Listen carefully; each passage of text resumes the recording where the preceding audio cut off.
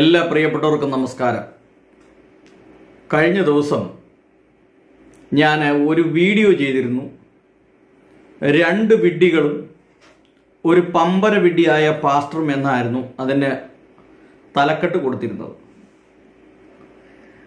ഇത് ഒരു പെൻഡിക്കോസ്റ്റൽ കല്യാണത്തെക്കുറിച്ചായിരുന്നു. ഇത് കൊട്ടാരക്കരയിൽ നടന്ന ഒരു കല്യാണമാണ്. ഒരു തൃത്വ നാമക്കാരനായ ഒരു സഹോദരനും യേശു നാമക്കാരിയായ ഒരു സഹോദരിയും തമ്മിലുള്ള ഒരു വിവാഹമാണ് ഇവിടെ നടന്നത്. എന്നാൽ ഈ M P F T Malayali Pentecostal free thinkers എന്ന ഒരു ഫേസ്ബുക്ക് കൂട്ടായ്മയുണ്ട്. ഈ കൂട്ടായ്മ ശരിക്കും പറഞ്ഞു കഴിഞ്ഞാൽ നിരോധിക്കേണ്ട ഒരു ഗ്രൂപ്പാണെന്നാണ് എന്റെ അഭിപ്രായം. ഇവന്മാര് ഗജപോക്രികളാണ് എന്നാണ് എന്റെ അഭിപ്രായം. ഇതിന്റെ അകത്ത് വരുന്ന വാർത്തകളൊന്നും സത്യസന്ധമല്ലാത്ത വാർത്തയാണ് ഇവന്മാർ കൊടുക്കുകയുള്ളൂ. എവിടുന്നെങ്കിലും അതിന്റെ അരയും മുറിയൊക്കെ എടുത്ത് ഇവർ മറ്റുള്ളവരെ കുറ്റം പറയാനും വിമർശിക്കാനും വേണ്ടി മാത്രം കൂട്ടം കൂടിയേക്കുന്ന ഒരു സമൂഹമാണ് ഈ എം പി എഫ് ടി എന്ന് പറയുന്ന സംഘടന. ഫ്രീ തിങ്കേഴ്സ് എന്നൊക്കെയാണ് പേര്. പക്ഷേ ഇത് സമൂഹത്തിന്റെ ഒരു നന്മയ്ക്ക് വേണ്ടിയിട്ടോ ഒരു നല്ല കാര്യത്തിന് വേണ്ടി നിൽക്കുന്ന ഒരു സംഘടനയല്ല. ഈ സംഘടനയ്ക്കകത്ത് എന്നും അടിയും ബഹളവും മറ്റുള്ളവന്റെ കുറ്റം കണ്ടുപിടിക്കലും കുറവശങ്ങൾ കണ്ടുപിടിക്കലും പാരവെപ്പും നമ്മുടെ പെന്റിക്കോസുകാരുടെ ഏറ്റവും വലിയ മറ്റൊരു പ്രത്യേകതയാണ് പാരവെപ്പ്. പാരവെപ്പ്. കളിയാക്കൽ മറ്റുള്ളവന്റെ കുടുംബരഹസ്യം ചോർത്തൽ ഇതൊക്കെയാണ് ഇതുപോലുള്ള സംഘടനകളുടെ പരിപാടി. അപ്പോൾ ഈ സംഘടനയാണ് അല്ല ഈ ഫേസ്ബുക്ക് കൂട്ടായ്മയാണ് ഈ കല്യാണത്തിന്റെ ഫോട്ടോ ഈ വീഡിയോ പുറത്തുവിട്ടത്. അപ്പോൾ ഇത് ലോകം മുഴുവൻ കണ്ടു. ലക്ഷക്കണക്കിന് ആളുകൾ കണ്ടു. അപ്പൊ ഈ സംഘടനയ്ക്ക് ഒരൊറ്റ ലക്ഷ്യമുണ്ടായിരുന്നു. എന്താണ്? പെന്തിക്കോസ്തു ഗോളത്തെ ഈ സമൂഹത്തിൽ ഒന്ന് നാറ്റിക്കണം. അതിനാണ് Malayali pentecost free Pentecostal free thinkers എന്ന് പറഞ്ഞ് കൂടിയേക്കുന്നത്. ഇവന്മാരൊന്നും ഒരു ഫ്രീ തിങ്കേഴ്സുകാരൊന്നുമല്ല. ഇവന്മാരൊക്കെ വെറുതെ മറ്റുള്ളവരുടെ നുണയും കൊതിയും പറയാൻ വേണ്ടിയിട്ട് കൂടിയേക്കുന്ന ഒരു പണിയില്ലാത്ത യാതൊരു തൊഴിലുമില്ലാത്ത കുറേ അവന്മാർ കൂടി ഉണ്ടാക്കിയേക്കുന്ന ഒരു സംഘടനയാണ് ഈ ഫേസ്ബുക്ക് ഗ്രൂപ്പ്. എന്നാൽ ഇവർ ഈ കല്യാണം ഇത്രയും പ്രശ്നം ഉണ്ടായപ്പം ഇതിന്റെ വാക്കിംഗ് കൂടെ വീഡിയോ വിടണ്ടേ ഇവരത് വിട്ടില്ല. അപ്പോൾ ആളുകൾ എന്താണ് വിചാരിക്കുന്നത്? ഇത് വിചാരിക്കുന്ന ഇങ്ങനെ ഒരു കല്യാണം നടന്നു. അത് വലിയ പ്രശ്നമായി. അപ്പോൾ ആളുകൾക്ക് കേൾക്കേണ്ടതാണ് ആ കല്യാണം തല്ലിപ്പിരിഞ്ഞോ? ചെറുക്കനും പെണ്ണും ഒന്നിച്ച് ഇപ്പോൾ ജീവിക്കുന്നുണ്ടോ? അതോ തല്ലിപ്പിരിഞ്ഞോ? അവിടെ അടിയും ബഹളവും നടന്നോ? അവിടെ ഉണ്ടാക്കിയ ഭക്ഷണ പദാർത്ഥങ്ങളൊക്കെ എന്ത് ചെയ്തു? ഇതൊക്കെയാണ് ഈ എം ബി എഫ് ടിക്ക് അറിയേണ്ടത്. അപ്പൊ ഇതെല്ലാം ജനങ്ങൾ ഇതെല്ലാം ചിന്തിച്ച് വ്യാകുലപ്പെടട്ടെ. ഞാൻ അവന് ഒരു തോട്ട് കൊടുത്തിരിക്കുകയാണ്. ഇനി ബാക്കിയുള്ളത് അവർ ചിന്തിച്ച് വ്യാകുലപ്പെടട്ടെ. പണ്ട് ഈ മലയാള മനോരമയൊക്കെ ിലൊക്കെ നോവൽ വരുന്ന സമയത്ത് ഒരു ദിവസം ഒരു നോവലിന്റെ അവസാന ഭാഗം എഴുതുക സോളമൻ കടാര വലിച്ചൂരി മുരളിയുടെ നെഞ്ചിൽ കുത്തി ഇറക്കി എന്നാൽ സോളമൻ കടാര വലിച്ചൂരി മുരളിയുടെ നെഞ്ചിൽ കുത്തി ഇറക്കി എന്നിട്ട് അതിന്റെ അടിയിൽ എത്തിക്കുക തുടരും. എന്ന് പറഞ്ഞാൽ പിന്നെ അവിടുന്ന് ചിന്തിച്ചോണം അപ്പോൾ ഒന്നാലോചിച്ച് നോക്കിയും. എന്ന് പറഞ്ഞ പോലെ ഒരു ശകലം വീഡിയോ ഒരു ഇത്രയും നീളത്തിൽ എം പി എഫ് ടി എന്ന് പറയുന്ന ഈ ഗ്രൂപ്പ് ഈ ഫേസ്ബുക്ക് ഗ്രൂപ്പ് മറ്റുള്ളവർക്കിട്ട് പാര വെക്കാൻ വേണ്ടിയിട്ട് അവന്മാർ ഒരു ശകലം എന്ത് ചെയ്തു? വിട്ടു. എന്താ ഈ കല്യാണം നടന്നോ? ഇനി എന്താണ് അവിടെ സംഭവിച്ചത് എന്നുള്ളതിനെക്കുറിച്ച് ഒന്നും ഇവർക്കറിയില്ല. എന്നാൽ ഈ കല്യാണം നടന്നു. ഈ പെൺകുട്ടി പിന്നീട് പിതാവിന്റെയും പുത്രന്റെയും പരിശുദ്ധാത്മാവിന്റെയും നാമത്തിൽ അവർ ഏറ്റുപറഞ്ഞു. അങ്ങനെ ഈ കല്യാണം മനോഹരമായി നടന്നു. അവർ ഒന്നിച്ച് സുഖമായിട്ട് ജീവിക്കുന്നു. അവിടെ ഉണ്ടാക്കിയ ആ പത്തറുന്നൂറ് പേര് അവിടെ കല്യാണത്തിന് വന്നിരുന്നു. അവരൊക്കെ നല്ല മൃഷ്ടാന ഭോജനം കഴിച്ച് സുഖമായി അവർ വീട്ടിലേക്ക് പോയി. ഈ പെൺകുട്ടി ഈ പാസ്റ്ററോട് ക്ഷമ ക്ഷമ പറഞ്ഞു. അപ്പം അതിന്റെ വീഡിയോ നിങ്ങളെ കാണിച്ചു തരാം. അപ്പൊ അതിനു മുമ്പ് ഈ പാസ്റ്റർ ഈ കല്യാണം നടത്തിയ പാസ്റ്റർ എന്റെ പേര് അനിൽ എന്നാണ്. അനിൽ.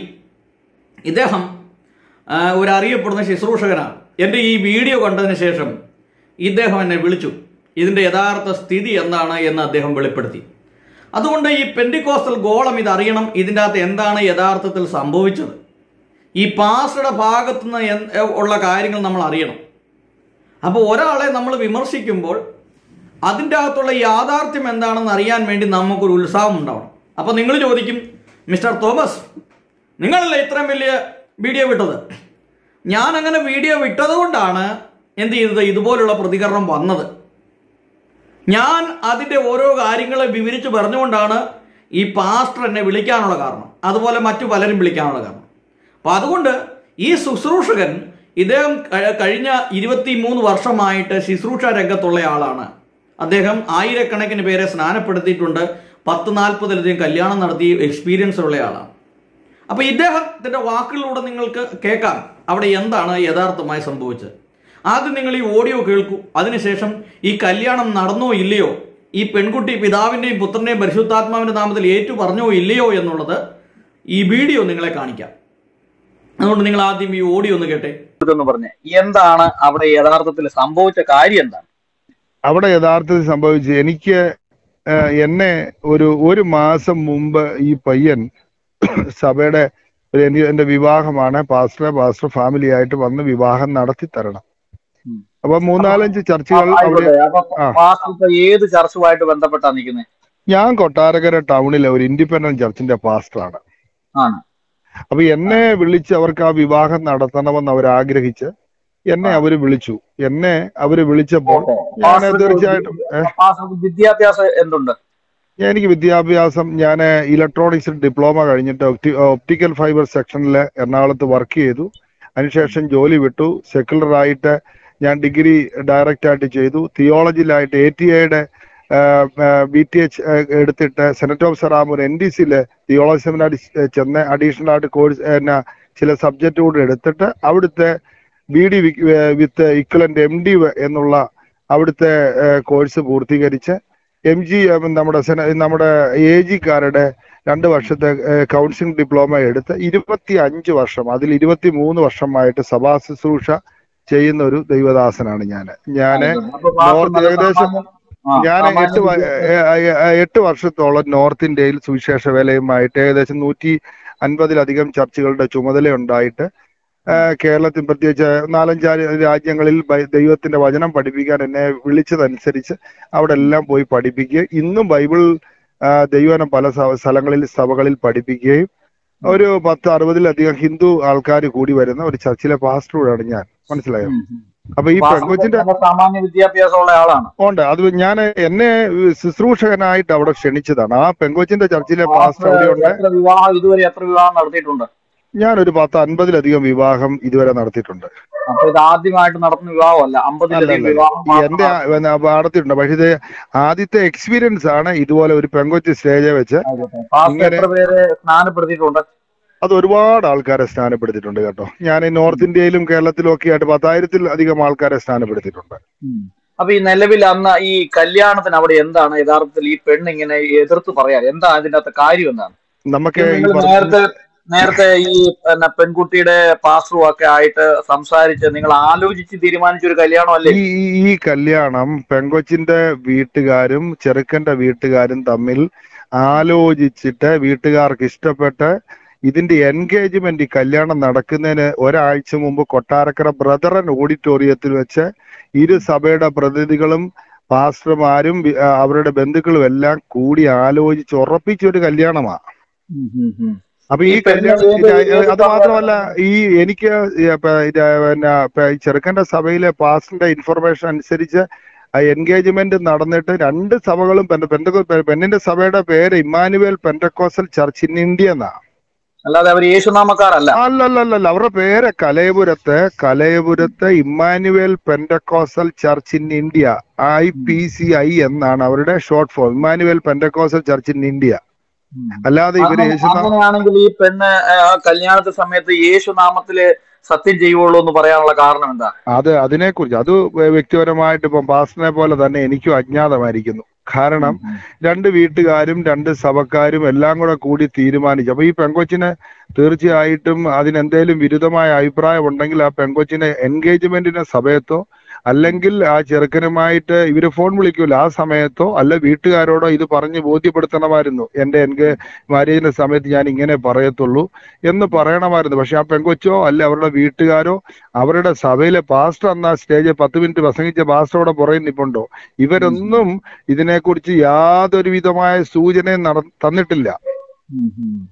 മനസ്സിലായോ?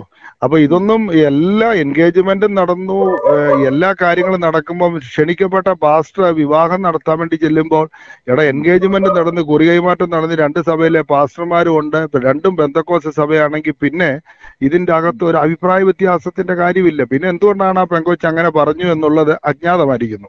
ആയിക്കോട്ടെ. ഈ കല്യാണം നിലവിൽ നടന്നോ? പിന്നെ വളരെ അനുഗ്രഹിക്കപ്പെട്ട നിലയിൽ പത്ത് അറുന്നൂറ് അറുന്നൂറ്റമ്പത് എഴുന്നൂറ് പേര് ഓഡിയൻസ് ഉണ്ടായിരുന്നു. വളരെ ഞാൻ അതിന്റെ വീഡിയോ ഇപ്പൊ പാസ് ഇട്ട് തന്നിട്ടുണ്ടല്ലോ. ഞാൻ. ചോദിക്കുന്ന ഈ കല്യാണം എങ്ങനെയാ നടന്ന ഈ പെൺകുട്ടി ആദ്യം ഇതിനെ എതിർത്തല്ലോ. അതിനുശേഷം ഇവർ ഈ പിതാപുത്ര പരിശുദ്ധാത്മാവിന്റെ നാമത്തിൽ അവർ ഏറ്റു പറഞ്ഞോ? തീർച്ചയായിട്ടും. അതിന്റെ വീഡിയോ ഞാൻ പാസ് ഇട്ടിട്ടുണ്ട്. മൈക്കിൽ കൂടെ തന്നെ പിതാവിന്റെയും പുത്രന്റെയും പരിശുദ്ധാത്മാവിന്റെയും നാമത്തിൽ ആ പെങ്കൊച്ച് ഏറ്റുപറയുകയും അത് അങ്ങനെ അതനുസരിച്ച് കല്യാണം നടക്കുകയും ആ പെങ്കൊച്ചിന്റെ വീട്ടുകാരെ നടന്നു പോയതിൽ എന്നോട് ക്ഷമ പറയുകയും പെങ്കൊച്ചിന്റെ ഭർത്താവും പെങ്കൊച്ചും ഞാൻ ഉൾപ്പെട്ട് നിൽക്കുന്ന ഞാൻ നിൽക്കുന്ന സഭയിൽ വന്ന് പരസ്യമായി എന്നോട് ക്ഷമ പറഞ്ഞു കൊള്ളാമെന്നും പാസിന്റെ അടുക്കൽ വന്നുപോയ വന്നു പോയ മിസ്റ്റേക്ക് ഏറ്റു പറഞ്ഞു കൊള്ളാമെന്നും അവർ എന്നിൽ എന്നോട് വിളിച്ച് സംസാരിക്കുകയും ചെയ്തിരുന്നു.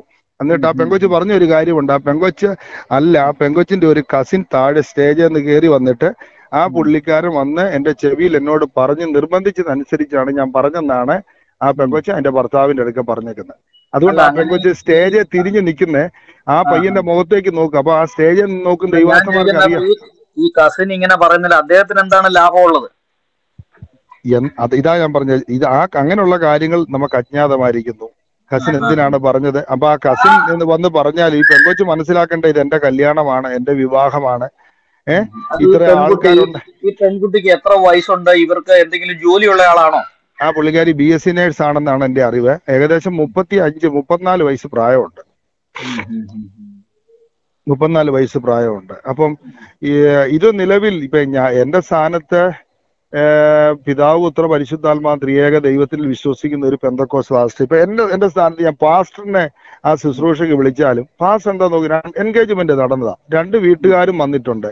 രണ്ട് വീട്ടുകാരും കൂടെ കൂടി ബ്രൈഡൽ മാർജിന്റെ സമയത്ത് സ്റ്റേജെ കൊണ്ട് ആയ പെങ്കൊച്ച്. ഇതിനകത്ത് എൻഗേജ്മെന്റ് നടന്നിട്ട് ഒരാഴ്ച വ്യത്യാസമുണ്ട്. അഭിപ്രായ വ്യത്യാസങ്ങളോ ആശയ ഉപദേശ വ്യത്യാസങ്ങളോ വൈരുദ്ധ്യങ്ങളോ ഉണ്ടെങ്കിൽ അവർ സ്റ്റേജെ വരുമോ. സ്റ്റേജ് വരത്തില്ല. അപ്പം നടത്തുന്ന പാസ്റ്റർക്ക് ഞാൻ പിന്നെ പാസ്റ്റർ ഇത്രയും നാളത്തെ ഈ നാൽപ്പത് അമ്പത് കല്യാണം നടത്തിയ എക്സ്പീരിയൻസ് ഉള്ള പാസ്റ്റർ ഇത്രയും പത്ത് മുപ്പത് വർഷമായിട്ട് ശുശ്രൂഷയുള്ള പാസ്റ്റർ ഇത് മൂന്ന് ഇരുപത്തിമൂന്ന് ശുശ്രൂഷയിൽ പരിചയമുള്ള പാസ്റ്റർ ഈ മറ്റു പാസ്റ്റർമാരുടെ എന്താണ് പാസ്റ്റർക്ക് ഈ ഒരു അനുഭവത്തിൽ നിന്ന് വെളിച്ചത്തിൽ പറയാനുള്ളത്? എനിക്ക് പറയാനുള്ളത് കാരണം ഇനി മുൻപോട്ടുള്ള നാളിൽ നമ്മളൊരു കല്യാണം നടത്താൻ ചെല്ലുമ്പോൾ ഇപ്പൊ രണ്ട് സഭയിലെ പാസ്റ്റർമാരും വിശ്വാസികളും വീട്ടുകാരും എല്ലാം ഉണ്ടെങ്കിലും നടത്താനായി ക്ഷണിക്കപ്പെട്ട പാസ്റ്റർ വ്യക്തിപരമായി ഈ പെങ്കൊച്ചിനോടും ചെറുക്കിനോടും കുറഞ്ഞ പക്ഷെ ഒരു അഞ്ച് മിനിറ്റേലും സംസാരിച്ചിട്ട് ഇവർ തമ്മിൽ ധാരണയായിട്ടുണ്ടോ? ഉപദേശത്തിന്റെ അകത്ത് എന്തെങ്കിലും വൈരുദ്ധ്യമുണ്ടോ? അഭിപ്രായ വ്യത്യാസം. ഇതെല്ലാം പറഞ്ഞൊന്ന് മനസ്സിലാക്കി നല്ലൊരു കൗൺസിലിംഗ് ഒന്നെങ്കിൽ ഇവർക്ക് കൗൺസിലിംഗ് കിട്ടിയിട്ടുണ്ടെങ്കിൽ ഒരു സർട്ടിഫിക്കറ്റോ അല്ലെങ്കിൽ പാസ് അതിനെക്കുറിച്ച് ഒരു ബോധ്യം വേണമെന്നാണ് എന്റെ അഭിപ്രായം. കാരണം ഇനി ഈ നിലയിൽ കാര്യങ്ങൾ വരുന്നത് കൊണ്ട് മനസ്സിലായി? കത്തോലിക്ക സഭയിലൊക്കെ പ്രീ മാരേജ് കോഴ്സ് എന്ന് പറഞ്ഞ ഒരു സംഭവം അല്ല അത് നിർബന്ധമായിട്ട് നമുക്ക് വേണമല്ലോ. പ്രീ മാരേജ് ഇങ്ങനെ ഒരു പ്രീ മാരേജ് കോഴ്സ് ആവശ്യമാണോ? അതിൽ നൂറിൽ ഒരു രണ്ട് ശതമാനം കൂട്ടിയേ ഞാൻ പറയത്തുള്ളൂ. നമ്മുടെ ബന്ധക്കോ സഭകൾക്ക് വളരെ അനിവാര്യമാണ് പിന്നെ ആവശ്യമല്ല അനിവാര്യമാണ് അത്യാവശ്യമായ ഒരു കാര്യമാണ് അപ്പൊ ഇങ്ങനെ പ്രാർത്ഥന- പ്രീ മാരേജ് കോഴ്സ് കൂടിയിട്ട് ഇപ്പോൾ നമ്മൾ ചിന്തിക്കുന്ന ലോകം ഇത്രയും വളർന്നു മൊബൈൽ ഇത്ര വേൾഡായി ഇപ്പൊ ചെറുക്കനും പെണ്ണിനും അറിയത്തില്ലാത്ത കാര്യങ്ങളൊന്നുമില്ല.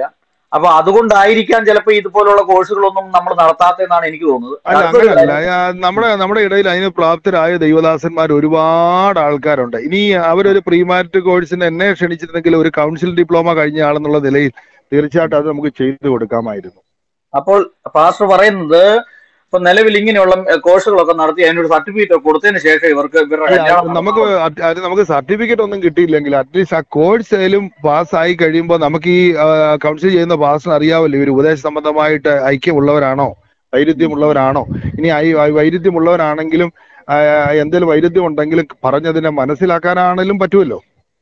അപ്പൊ ഈ ലോകം മുഴുവൻ മുഴുവനുള്ള ആളുകൾ ഇത് കണ്ടു. ഒരുപാട് മറ്റ് നാമധേയ ക്രിസ്ത്യാനികൾ എന്ന് നമ്മൾ പറയുന്ന ആളുകളും മറ്റുള്ള വിവാഹത്തിലുള്ളവരൊക്കെ ഉണ്ട്. അവരോട് എന്ത് എന്തെങ്കിലും പറയാനുണ്ടോ വാസു പാസ് ഇവ എല്ലാവരോടും പറയുന്നത് പിതാവും പുത്രനും പരിശുദ്ധാത്മാവുമായ ത്രിയേക ദൈവത്തിന്റെ നാമത്തിലുള്ള വിശ്വാസത്തെ വിട്ടുകളഞ്ഞ് നമുക്ക് വ്യതിയലിച്ച് ഒരു പെണ്ണിന് വേണ്ടിയോ പെണ്ണ് പറയുന്ന ഒരു വാക്യത്തിന് വേണ്ടിയോ ഒരു ശുശ്രൂഷകൻ എന്ന നിലയിൽ അതൊന്നും വിട്ടുകളഞ്ഞ് നമുക്ക് ചെയ്യാൻ പറ്റത്തില്ല.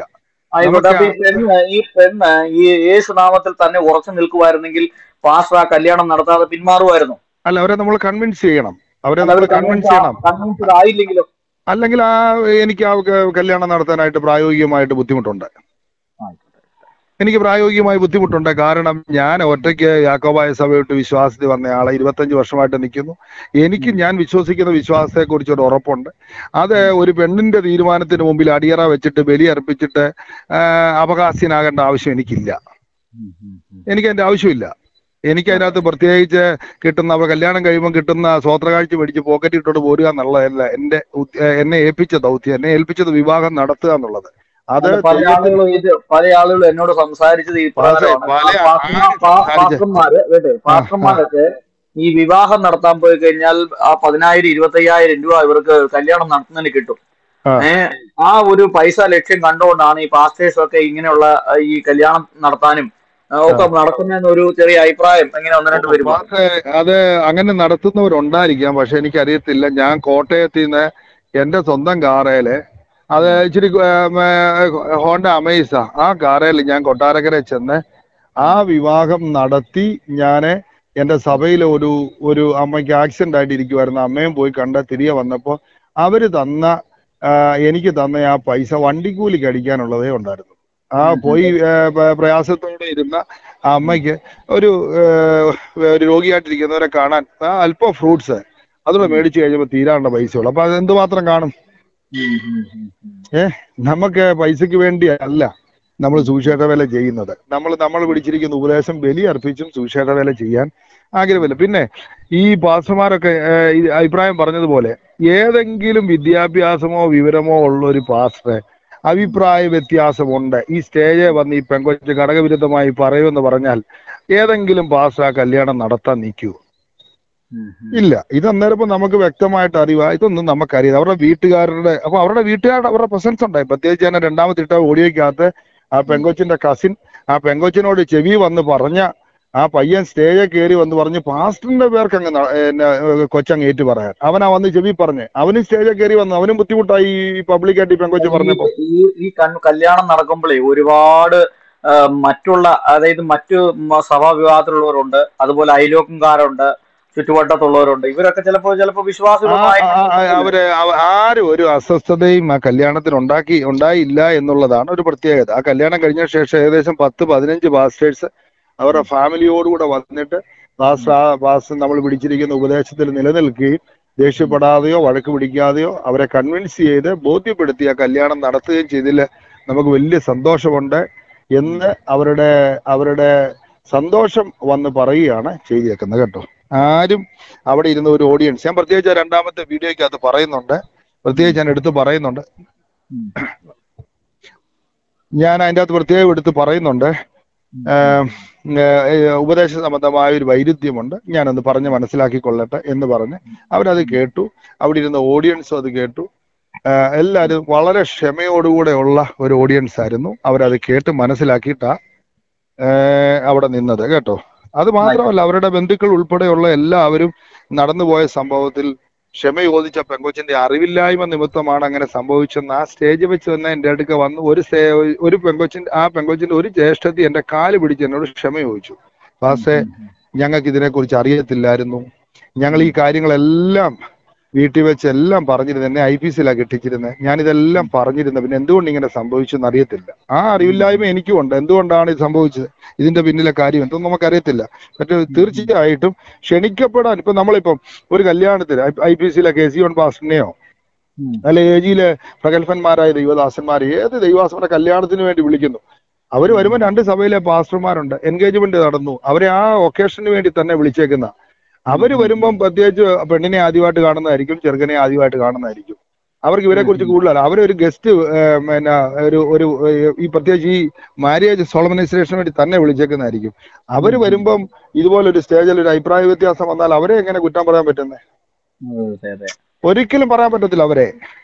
അത് മാത്രമല്ല ഈ കാര്യത്തിൽ ചെറുക്കന്റെ സഭയിലെ പിന്നെ പാസ്റ്റർ അവിടെ ഇരിപ്പുണ്ട് പെണ്ണിന്റെ സഭയിലെ പാസ്റ്റർ അവിടെ ഇരിപ്പുണ്ട്. ഈ രണ്ട് പാസ്റ്റർമാരും എൻഗേജ്മെന്റിന് കൂടി കണ്ടതാ.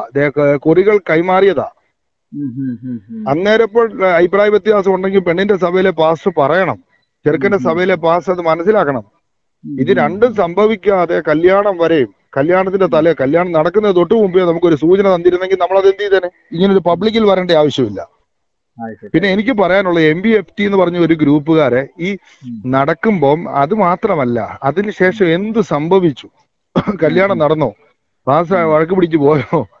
എന്താ സംഭവിച്ചത്? വളരെ സൗമ്യമായ നിലയിൽ കാര്യം നമ്മൾ പറഞ്ഞു മനസ്സിലാക്കി.